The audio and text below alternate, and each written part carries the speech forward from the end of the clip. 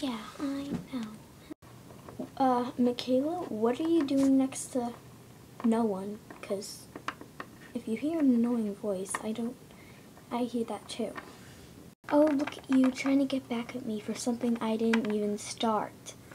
Something that you started. It's not gonna work. Um, I think I should just, like, leave now. Why did she leave? Because of your ugliness? Excuse me, but I'm way prettier than you. Big nose. Who are you calling big nose? Big nose. Excuse me, but I have a little nose. Why did she run away? Answer the she ran away because she hates being stuck in the middle.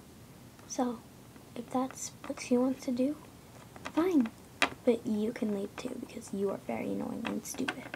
I am gonna leave because I don't want any part to do with you.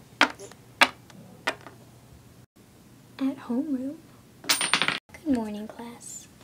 Good morning, Miss Beltran. We're having a new student today. Everyone say hi to Hey.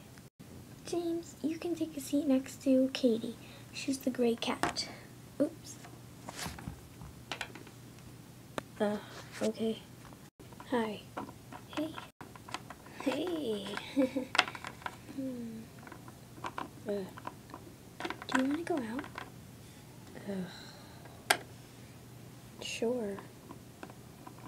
James. Katie.